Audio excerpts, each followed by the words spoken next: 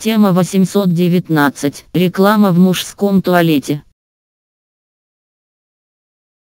Как не ворчим мы на вездесущую рекламу, которая ловит наше внимание то по телевизору, то с экрана монитора в очереди к кассе супермаркета, но если смотреть с точки зрения извлечения прибыли, это один из самых доходных видов бизнеса. И тот самый городской сайт, предлагаемый по франшизе, основной доход предполагает именно с рекламы. Внимание рекламодателей достаточно легко привлечь, им достаточно показать, что вложив. N сумму, они получат гораздо больший доход, и они уже готовы платить. Но сделать рекламу привлекательной для ее потребителей нужно постараться. Сегодня мало просто где-то разместить баннер или объявление, потому что такой рекламы везде полно и ею занимаются тысячи рекламных агентств. Нужно искать новые пути и новые формы. Одной английской фирме. Captive Media Co. UK Удалось удивить как рекламодателей, так и потребителей. Она придумала сделать интерактивную рекламу в мужском туалете, на экранах мониторов, располагаемых над каждым писсуаром, подсчитав заранее, что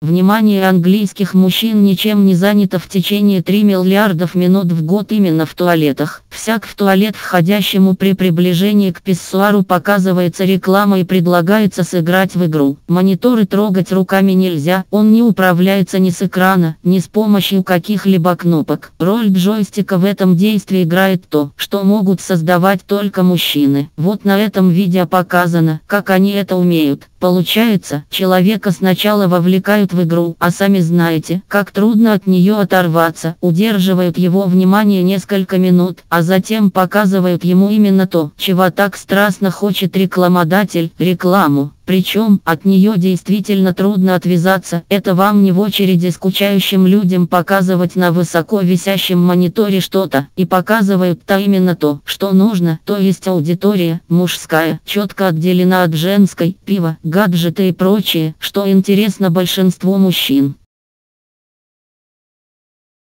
Так как компания предложила рынку нечто революционное, по-моему, она даже запатентовала свое изобретение. Конкурентов в мире у нее практически нет. Она уже установила в Великобритании 200 таких писсуаров с мониторами и собирается экспансировать свой бизнес в США и другие страны мира. Представляете, на какой уровень дохода она выйдет в скором времени. Поэтому, если хотите иметь стабильный доходный бизнес, идите в рекламу. Придумывайте новые формы и виды рекламы. Помогайте коммерческим предприятиям получать еще большую прибыль. Чем лучше и эффективнее вы будете это делать, тем больше будет ваш доход.